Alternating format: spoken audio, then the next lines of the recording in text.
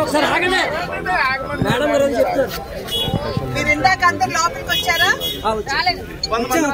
కొంతమంది వచ్చారు ఇప్పుడే ఈ మద్యం దుకాణానికి మేము వెళ్ళటం జరిగింది ఇక్కడ ఒకసారి రివ్యూ చేయడం జరిగింది ఇక్కడ దుకాణదారుడు చెప్పినటువంటి విషయం ఏమిటంటే లక్ష రూపాయలకి విలువైనటువంటి సరుకు పొద్దుటి నుండి కూడా ఇప్పటి వరకు అమ్మకం జరిగింది.